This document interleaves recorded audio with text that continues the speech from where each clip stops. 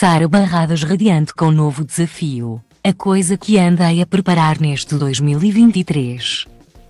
Ponto e vírgula Sara Barradas partilhou um pequeno vídeo com algumas imagens da sua nova conquista. Na noite desta quarta-feira, dia 25 de janeiro, Sara Barradas recorreu à sua conta de Instagram para partilhar imagens do seu novo desafio. A atriz foi convidada para ser a capa da nova edição da revista Luz Humana e revelou algumas imagens dos bastidores da produção. Ponto e vírgula a primeira coisa que andei a preparar neste 2023 estará disponível nas bancas amanhã, a capa de fevereiro da Luz Humana.